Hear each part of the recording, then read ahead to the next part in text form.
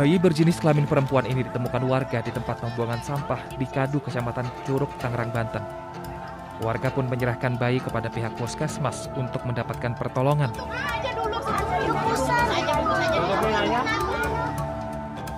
Bayi ditemukan warga saat membakar sampah. Seorang warga yang mendengar suara tangisan bayi memanggil warga lainnya untuk sama-sama memastikan penemuan bayi. Bayi atau kucing.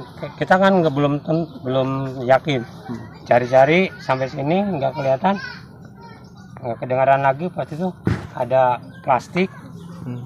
di ada plastik hitam. Gerak-gerak kata kira saya wah ini kucing kali di dalamnya. Pas ditarik uh, apa plastiknya dibuka taunya itu bayi. Petugas kepolisian dari Polsek Curug masih mendalami dan meminta keterangan terkait penemuan bayi. Sementara sang bayi yang dirawat di puskesmas kondisinya mulai membaik.